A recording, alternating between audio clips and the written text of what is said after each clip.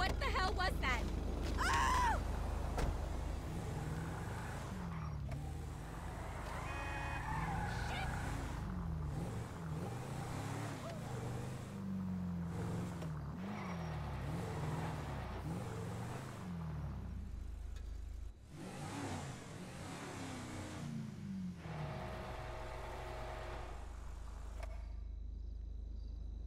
There you go, all fixed.